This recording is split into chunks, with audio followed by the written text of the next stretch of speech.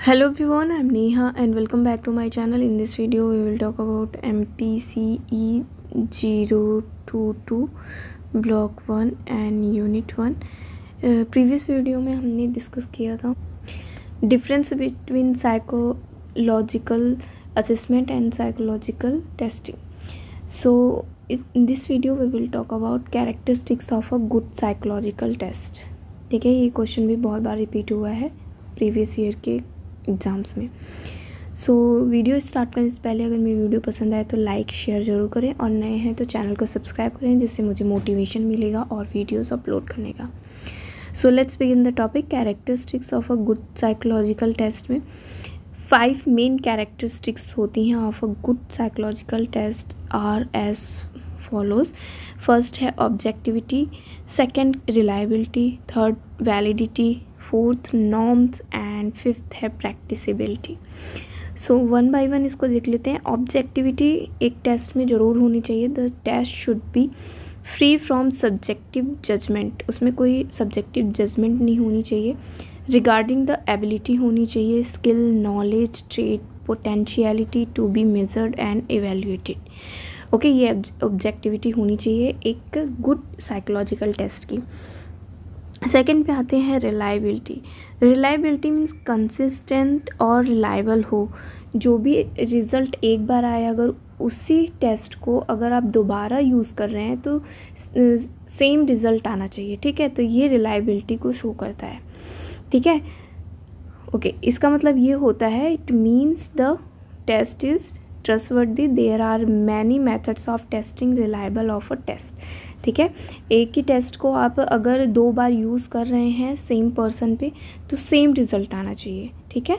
और ये कैसे पता चलता है? इसके बहुत सारे मेथड्स होते हैं।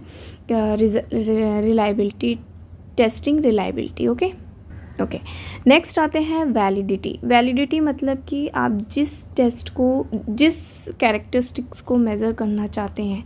जैसे कि मान लीजिए आप पर्सनैलिटी को मेज़र करना चाहते हैं तो आपका टेस्ट जो है वो पर्सनैलिटी को ही मेज़र कर कर रहा हो। ना कि किसी और पर्पस के लिए हो या फिर किसी और फैक्टर के लिए हो। ठीक है? जैसे कि यहाँ पे एग्जांपल मेंशन है कि when an intelligent test is develop to assist the level of intelligence it should assess the intelligence of the person, not other factor. Factors means not कि वो पर्सनैलिटी को टेस्ट कर रहा है। इंटेलिजेंट टेस्ट है तो वो इंटेलिजेंट लेवल को ही असिस करे, ठीक है? तो वो होता है एक गुड साइकोलॉजिकल टेस्ट इसके भी बहुत सारे मेथड्स होते हैं testing validity of a test okay norms क्या होते हैं? Norms refers to the average performance of a representative sample on a given test. ठीक है ये एक पिक्चर uh, प्रोवाइड करा देता है average standard of a particular sample in a particular aspect. So example के थ्रू समझ लेते हैं एक टीचर हैं जिन्होंने एक टेस्ट लिया है और उनका जो टेस्ट का एवरेज है वो फिफ्टी टू आया है। ठीक है? तो वो ये विद इन अ ग्रुप ये देखना चाहती हैं कि उनका जो टेस्ट है वो स्टैंडर्डाइज टेस्ट है या नहीं? एक गुड साइकोलॉजिकल टेस्ट है या नहीं? ठीक है? तो उसके लिए क्या होगा कि हर एक टेस्ट का ना रेंज होता है रेंज ऑफ़ स्कोर होता है। जैसे कि from zero to through hundred ठीक है? हंड्रेड तो अगर उसका एवरेज स्कोर फिफ्टी आता है ठीक है? और देन फिफ्टी टू मान लीजिए फिफ्टी है इस टेस्ट का।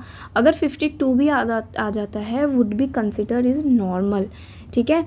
अगर यही जो एवरेज था ये बिलो आता ठीक है? जैसे कि थर्टी आता या फिर ट्वेंटी आता तो ये बहुत ही बिलो हो जाता। ये स्टैंडर्डाइज या good quality good psychological test नहीं होता। बट ये क्या है कि एवरेज से एवव है थोड़ा सा ठीक है? Two number. तो दैट मीन्स कि it's consider is normal okay तो इसीलिए कहा जाता है कि norms refers to the average performance of representative sample on a given test ठीक है? तो वो टेस्ट क्या होते हैं? अ गुड साइकोलॉजिकल टेस्ट होते हैं।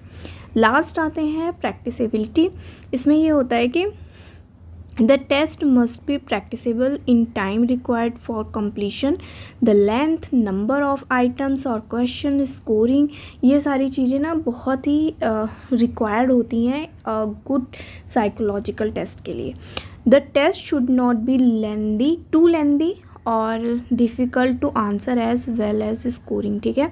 ज़्यादा लेंदी नहीं होना चाहिए और जो सब्जेक्ट हैं, जो क्लाइंट हैं, वो आंसर देने में उनको डिफ़िकल्टी ना हो।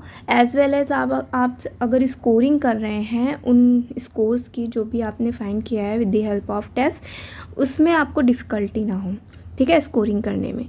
तो इस जिसमें ये फाइव कैरेक्टरिस्टिक्स होती है वो होते हैं a good psychological test I hope ये वीडियो आपके लिए हेल्पफुल हो हेल्पफुल हो तो लाइक शेयर ज़रूर करें. एंड नए हैं तो प्लीज़ चैनल को सब्सक्राइब करें जिससे मुझे मोटिवेशन मिलता है और वीडियोस अपलोड करने का. सो so, मेरी वीडियोस को देखते रहिए. Thanks for watching